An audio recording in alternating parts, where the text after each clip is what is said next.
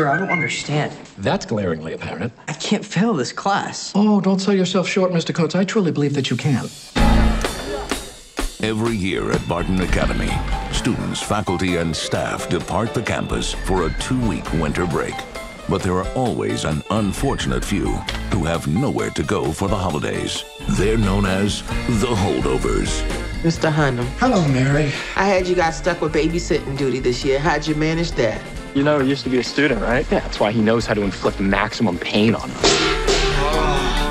I thought all the Nazis were hiding in Argentina. Stifle it, Tully.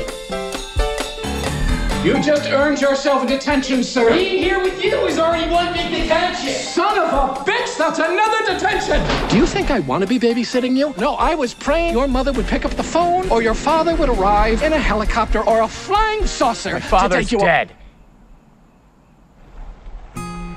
You don't tell a boy that's been left behind at Christmas that nobody wants him? What's wrong with you? There's nobody here, okay? You stay out of my way, and I'll stay out of yours. Let me sleep. Now, most of the kids dislike you, pretty much hate you. Teachers, too. You know that, right?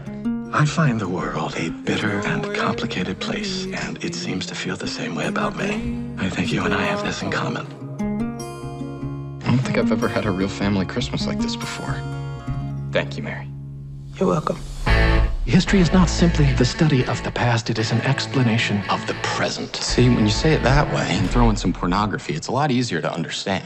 no matter what you are. I'd like to propose a toast to my two unlikely companions. Are you trying to lick down my shirt? No. Yes. You're gonna get me fired. This is your Rubicon. Do not cross The Rubicon.